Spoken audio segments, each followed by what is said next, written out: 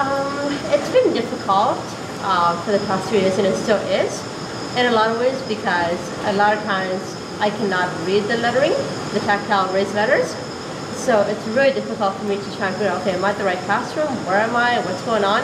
I'm constantly asking people for help and have been. Braille is not being phased out in any way, shape, or form. And if you require Braille, it is the, the college's duty to help make their college accessible for you. How has your experience changed since they added the Braille? Um, in a way, it's easier. But again, it's not all parts of the college that have it. It's very few parts, uh, very few areas. Um, but in terms of this college, this building specifically, I'm really happy that when you come out of any floor on the elevator, it has Braille on both sides.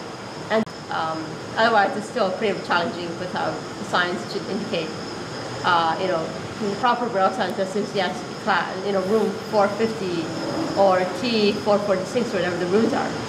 Um, even the Disability Accessibility Service Office doesn't have it, the Counseling Service Office doesn't have it.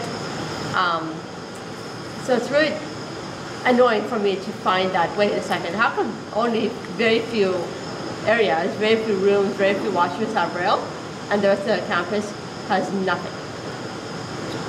Okay, so what should um, Langara do to improve their accessibility? I would love to see Braille on all uh, washrooms, classrooms, um, and even on the doors of the building that say okay, A building, B building, C, whatever the building is, bookstore.